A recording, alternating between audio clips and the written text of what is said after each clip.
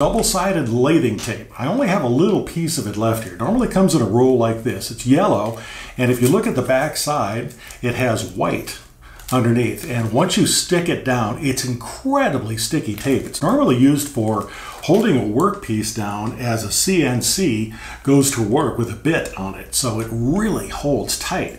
You can use this to hold fabrics together, to hold different parts together. It works like glue and sticks forever. You can buy this at a woodworker shop like Rockler or uh, some of your others that sell wood supplies.